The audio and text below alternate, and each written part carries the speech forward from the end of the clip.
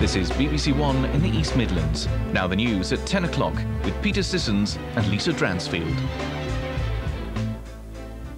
Tony Blair promises to produce the evidence that justifies war with Iraq.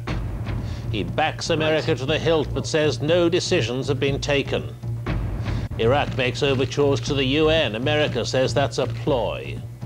Firefighters are warned if you get 40%, everyone's mortgage goes up.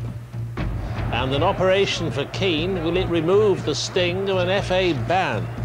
Here in the East Midlands, an elusive estate agent turns up, but with his company owing half a million pounds, homeowners may still be out of pocket. And at a standstill, why security checks mean taxi drivers can't operate.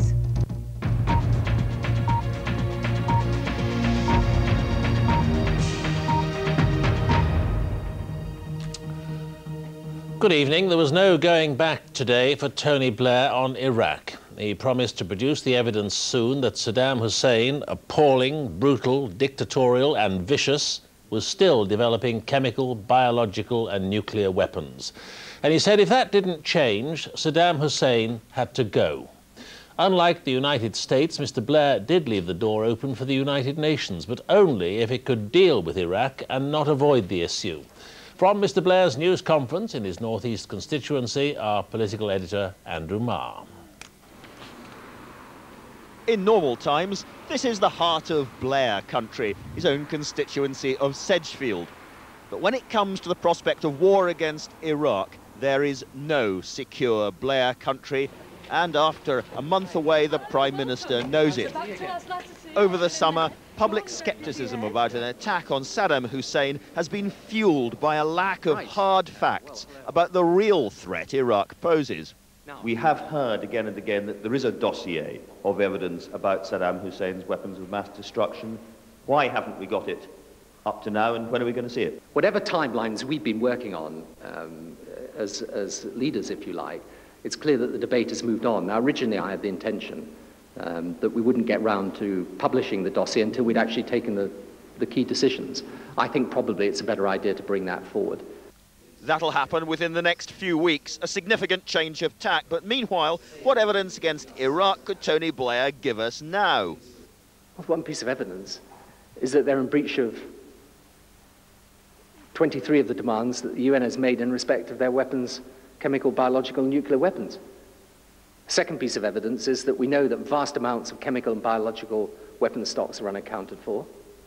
Third piece of evidence is that every time they haven't been contained, they've gone out and attacked people. The fourth piece of evidence is that they're the only regime I know of anywhere in the world that's actually used these weapons in order to kill thousands of innocent people. Full United Nations weapons inspection remain his first priority, but at times Mr Blair sounded today as if he couldn't imagine this ending without Saddam Hussein himself being toppled. Either the regime starts to function in an entirely different way, and there hasn't been much sign of that, or the regime has to change. Now that's the choice, very simply. Is it? There's a hard core of doubters who won't be won round. But Mr Blair today openly appealed to other sceptics like Labour's Donald Anderson. This is no more today than a promise of giving evidence. The evidence has not yet been given, and a promise, obviously, to look at the weapons inspection. The Tories tonight offered personal support for Tony Blair, but are eagerly feeling for a major Labour split. What I do think is that uh, he now has to show that not only does he have a very clear realization of the threat and the need to deal with it, but that his cabinet does as well. We've heard many rumours recently that his cabinet is at sixes and sevens with him. I think he's now got to show his quality of leadership within his own cabinet to, to show that they are prepared to follow him in what he said today.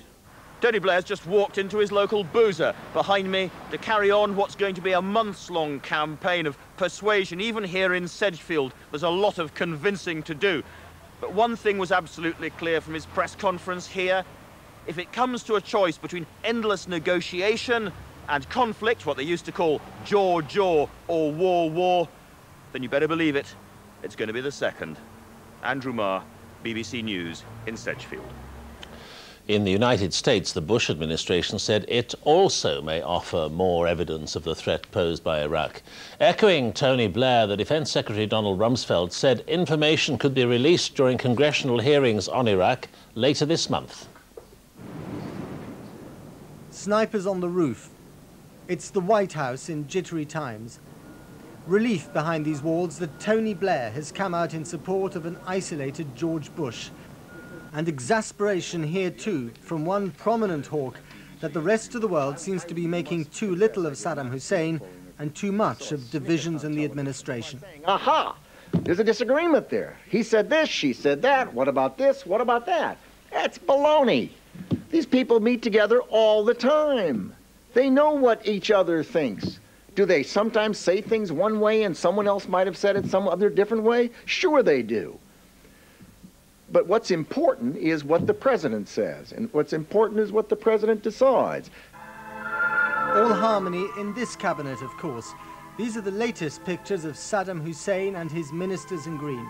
Until plausible evidence is presented against him and his weapons of mass destruction, public opinion everywhere will continue to flounder. No wonder then that the Iraqis are doing their best to woo the world. In Johannesburg, Saddam Hussein's chief lieutenant met the UN Secretary General, who's keen to send his weapons inspectors back to Iraq. Well, no, condi no conditions. A few minutes later, he popped up on Good Morning America. We are ready to work with the United States, with the Security Council, to reach the truth. But if it is a pretext, a, a hoax pretext to attack Iraq, what can we do? But on the streets of the capital, even those who think in strategic terms aren't sure about the next move. I don't think the United States should go over there at all. I don't understand why they bother them people. We got more problems over here in the United States. There's nothing compelling to suggest that right now, immediately, we need to take care of, of war, launch a new war when we're already fighting a war in Afghanistan. There is relief here that Tony Blair is now firmly on side, but the real lobbying for international and domestic opinion begins in earnest tomorrow when President Bush meets congressional leaders on Capitol Hill.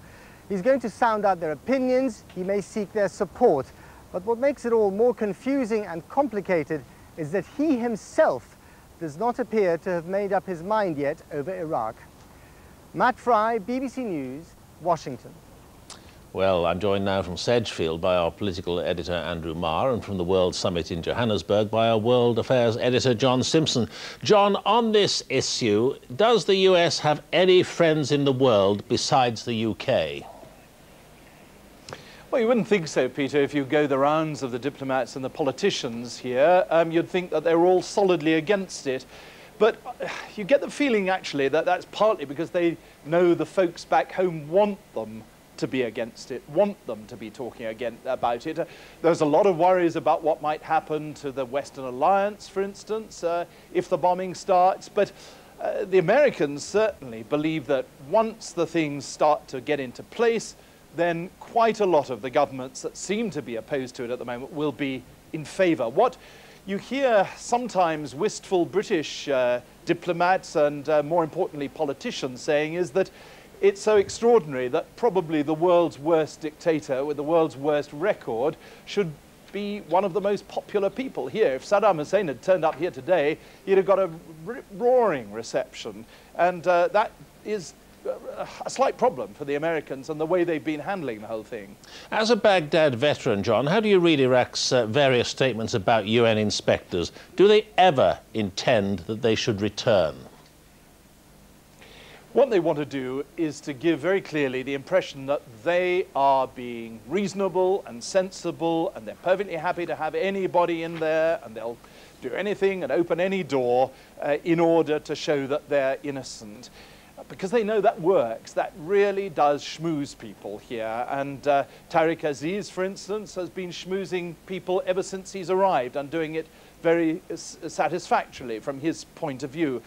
Of course, what happens when the inspectors get there is something altogether different, but they want to give the impression of being easy and, uh, and uh, opening all the doors because they know that that does get them popular support abroad. John Simpson, thank you. Andrew Marr in Sedgefield. There are very few ifs and buts now about Tony Blair's position on Iraq, but he has left himself this small UN get-out clause. Will he push Washington for one more UN try? Yes, I think that's one of the messages here today. Um, he has a real problem. As the person who always claims that he can bridge the Atlantic on these matters, everybody in Europe, um, everybody around the world is insisting that the United Nations must matter, whereas the Americans just simply see this as another way of putting it off, another form of delay and faffing around, giving Saddam Hussein more time.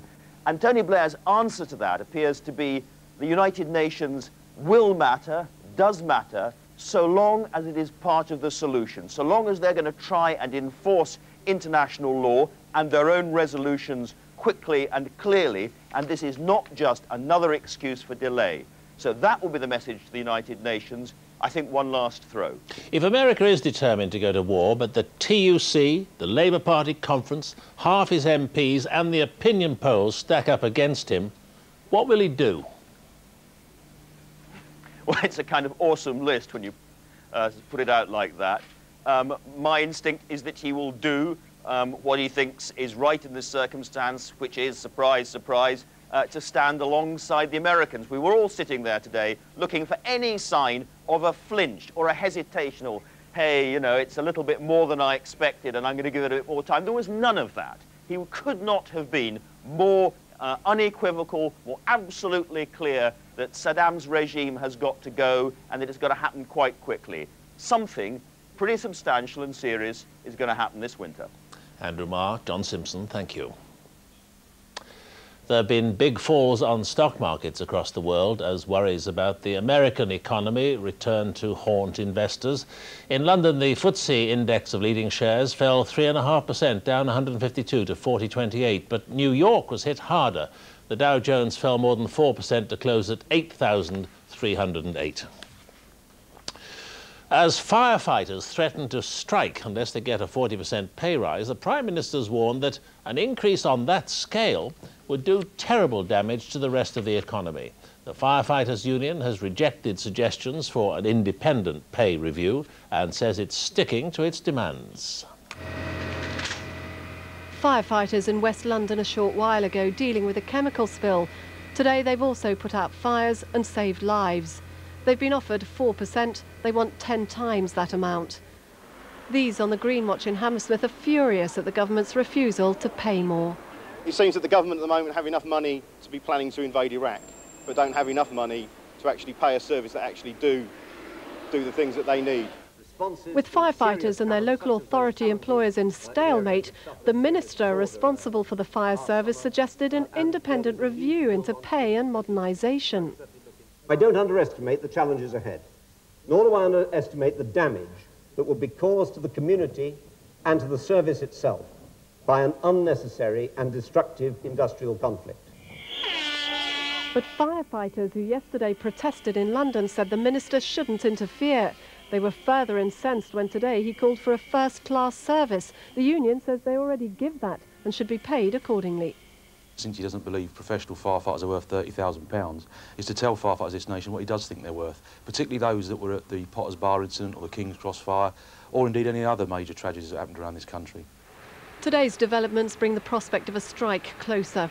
But Tony Blair fears if firefighters got 40%, other public sector workers might want the same. This could bring higher inflation and a rise in interest and thus mortgage rates. It's business as usual for the firefighters.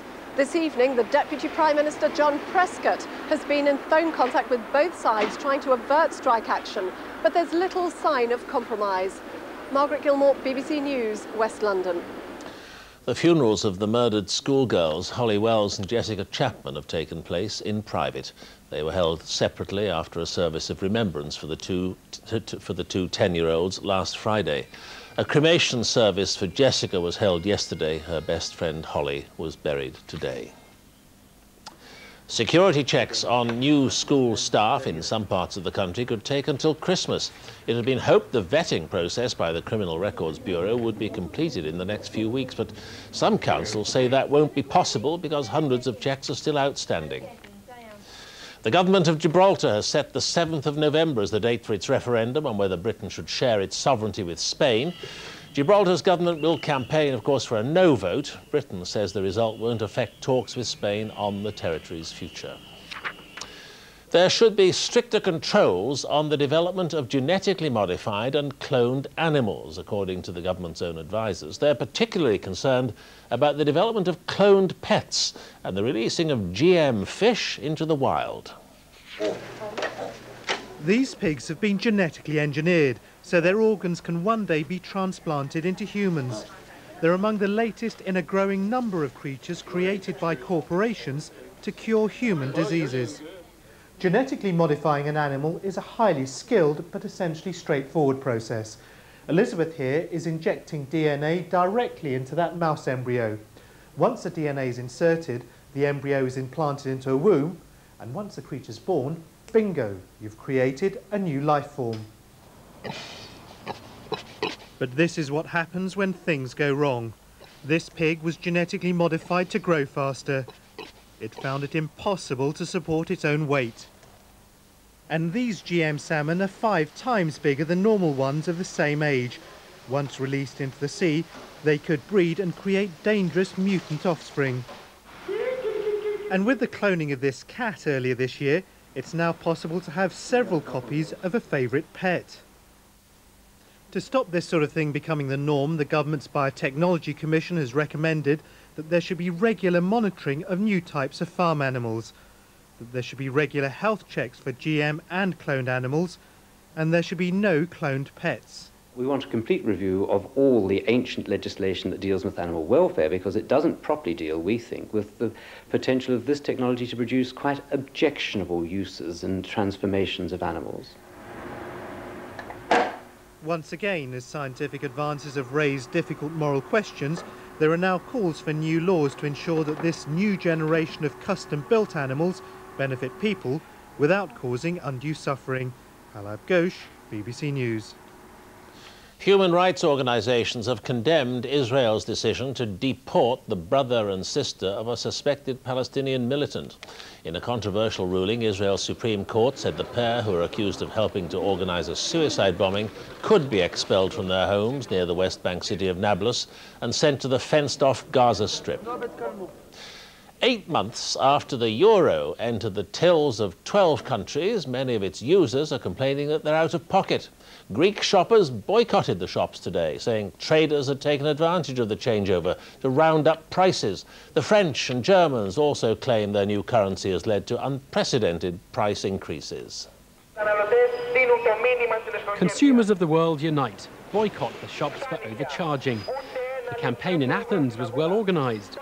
Greeks say the euro has led to price hikes and they just aren't going to take it anymore.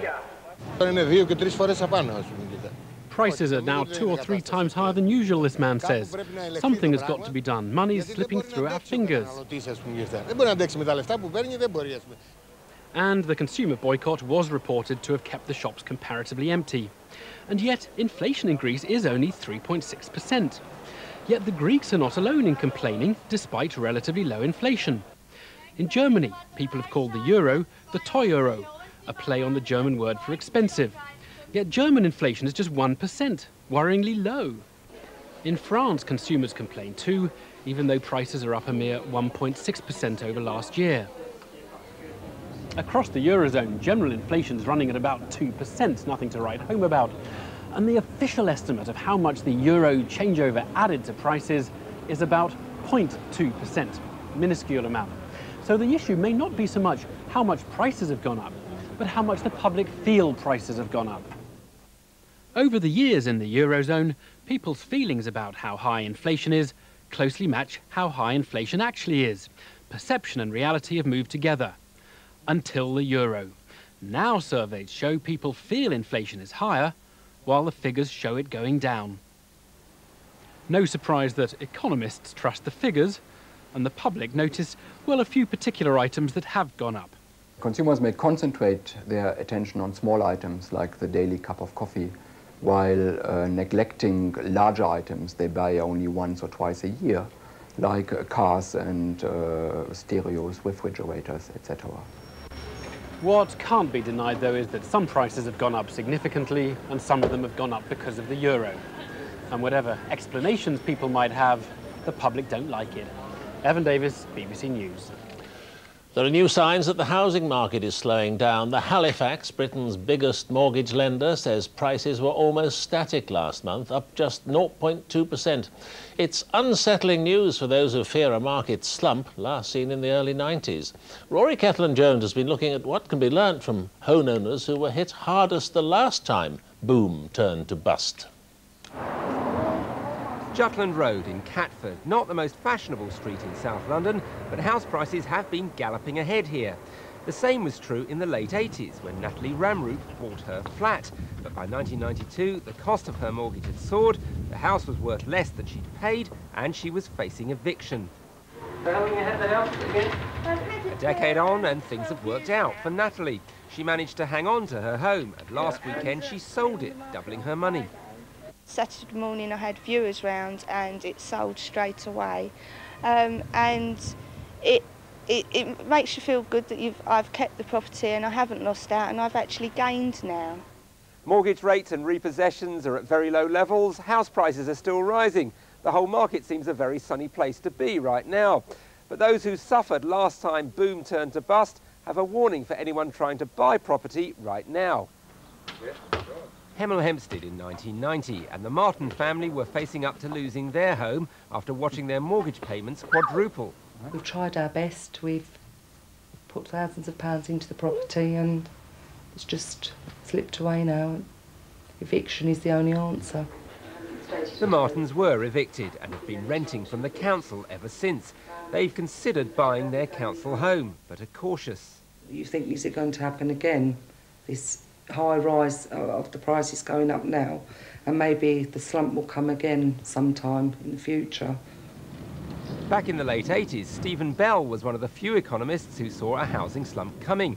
He now thinks the market's heading for a similar but less painful fall. People are borrowing a lot, house prices are very high, particularly in London and the southeast. People are speculating in the market.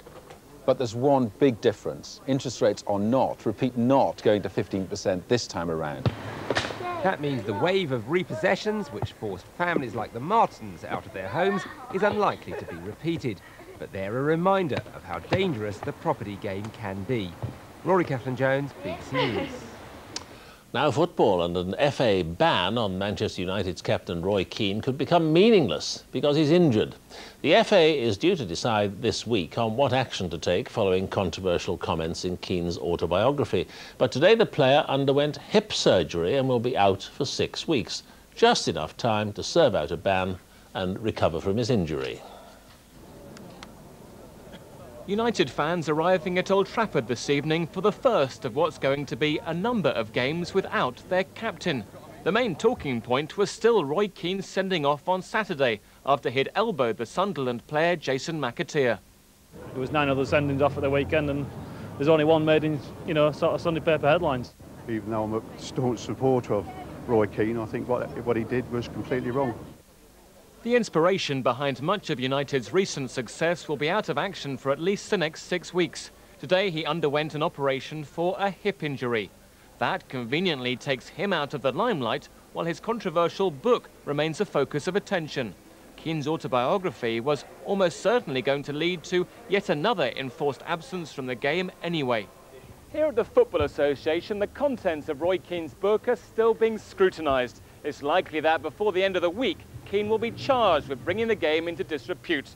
If found guilty, he could face a ban for that offence of around four matches. So Keane is facing disciplinary action, both for his comments in the book about Manchester City's Alf-Inge Haaland and his sending off on Saturday, which led to an automatic three-match ban from September the 14th. A four-match ban for the book could then begin on October the 7th. By November the 2nd, he'd be clear to play again. Good timing, as that could coincide with him getting back to full fitness from today's operation, ready for the Manchester Derby on the 9th. But is he escaping justice? You know, if the FA want to use some imagination about this, they can use part of a suspension, maybe, while he's while he's injured, part of it later conditioned upon good behaviour. They, they've got to use their imagination about how they deal with this.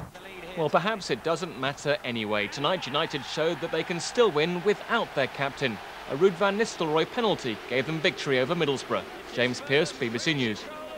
And it's 24 and a half minutes past 10. I'll be back later with an update on the day's headlines, but now we join our news teams across the United Kingdom.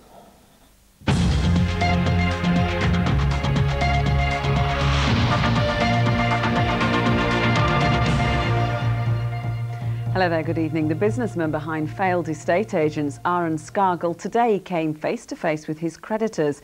Bhavinder Johal told creditors any money he owed would be repaid. But with his total debts estimated at around half a million pounds, not everyone was convinced.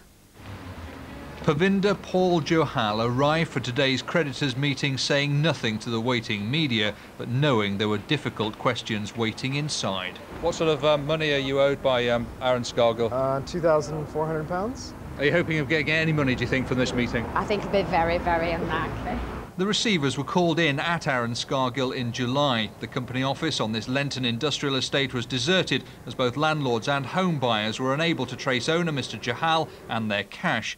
The meeting had lasted three hours. There'd been some heated exchanges. But what about the £400,000 owed by Aaron Scargill to its creditors? Uh, my solicitor will answer. Outside, Mr Johal insisted the company accounts were in order and that creditors would be repaid. Every Most people who claim they've lost money will get, get money back. You can guarantee that? Oh, I can't guarantee. Obviously, it's out of my hands. But the newly appointed liquidator isn't so confident. There may be a small dividend. Um, it depends upon what is discovered during the course of the liquidation. And an investigation into why Aaron Scargill collapsed is likely to take at least a year. Dave Harper, East Midlands Today, Nottingham. A section of one of our busiest roads has been reopened tonight after a multiple pile-up. Two people were seriously hurt and eight others suffered minor injuries following the accident on the A52 between Elton and Whatton. The road was closed for a time with tailbacks up to seven miles long. Eight ambulances, two fire engines and the air ambulance were called to the scene, but none of the injuries were thought to be life-threatening. Next tonight, the chaos in our classrooms spreads to the cab ranks. Taxi firms in Leicester say they're losing money and having to take cars off the road because the Criminal Records Bureau hasn't finished security checks on their drivers. Andy Johnson reports. No, it's not a taxi rank, more like a car park. Swift Taxis has 21 cars out of a fleet of 150 off the road because security checks on potential drivers haven't come through. I've been in business now for 35 years and this is the worst I've ever known it, the amount of vehicles standing.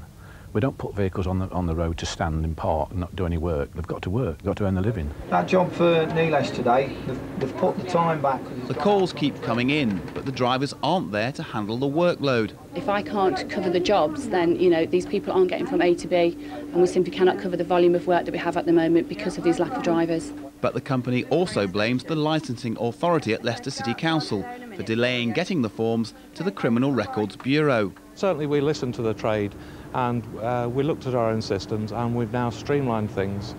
Uh, the licensing team processes their own forms, vets them and sends them off within one working day. The delay of eight to nine weeks is then solely down to the CRB, I'm afraid. There'll be no fares for these cabs for some time to come. If the situation continues, the company may have to take a drive to see its bank manager to ask for help. Andy Johnson, East Midlands Today, Leicester. A woman who saved her brother's life by giving him one of her kidneys is appealing for more people to be organ donors. Chris Lawton from Rutland was just weeks away from renal failure when his sister stepped in to help. The three-hour uh, transplant operation has transformed his life.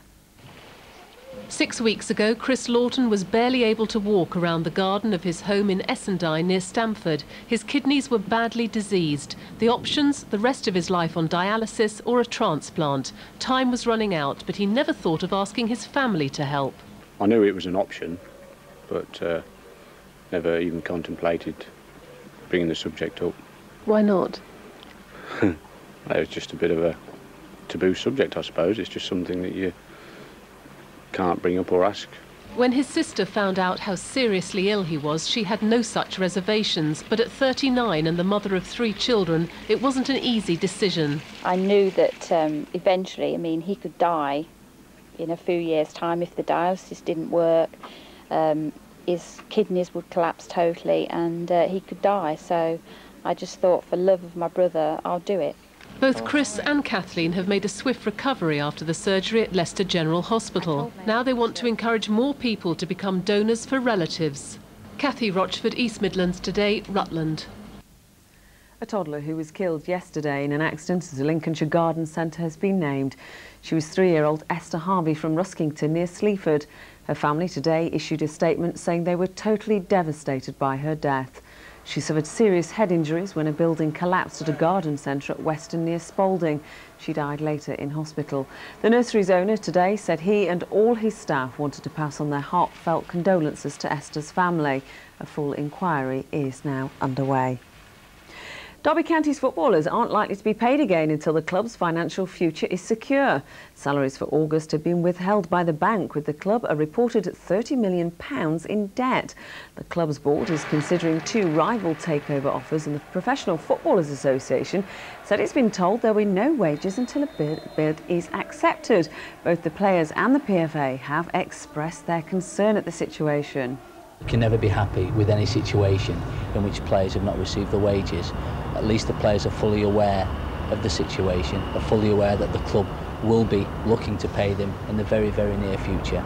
And we will be monitoring the situation. If we feel in the next couple of days that it doesn't happen, uh, then we're going to have to take it further.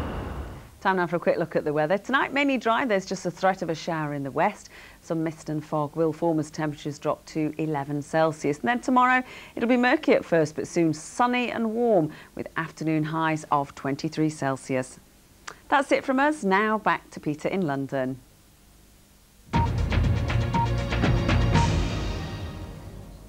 And the main news tonight. Tony Blair has promised to produce evidence that will justify taking action against Saddam Hussein's regime. He's backed America to the hilt, but right. said no decisions had been taken. Iraq has made overtures to the United Nations. America has dismissed them as a ploy and the firefighters have been told that a 40% pay rise for them would be disastrous for the economy. Newsnight starting now over on BBC Two, but from the 10 o'clock news. Good night.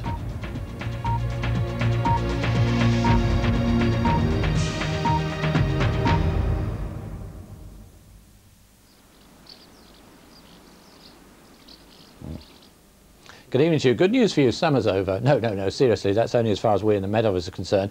But actually, we have a, had a look at the summer statistics, and it was more or less average, actually, overall, as far as England and Wales is concerned, although it was the dullest since 1988. And, of course, we all remember those flash floods. By contrast, down at the other end of the world, winter is just about over, and it's a very different story in Australia, where it's one of the worst droughts in history and uh, certainly there since records began in 1900.